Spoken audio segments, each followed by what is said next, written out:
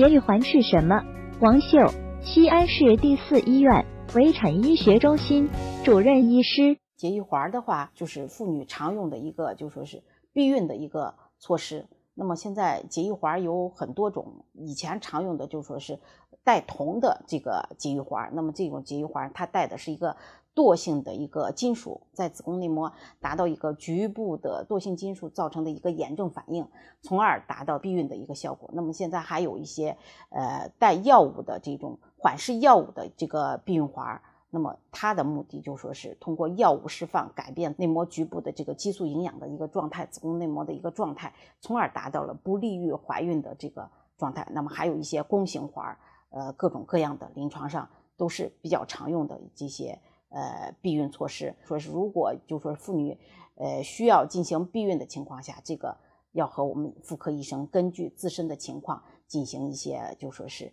呃，采取一个合适的呃这个避孕措施。专家提示：一、节育环是妇女常用的避孕措施；二、同节育环在子宫内膜局部惰性金属造成的炎症反应，从而达到避孕效果。三环是药物的避孕环，通过药物释放改变子宫内膜局部激素营养的状态，达到不利于怀孕的状态。四妇女需要进行避孕的情况下，要和妇科医生进行，采取合适的避孕措施。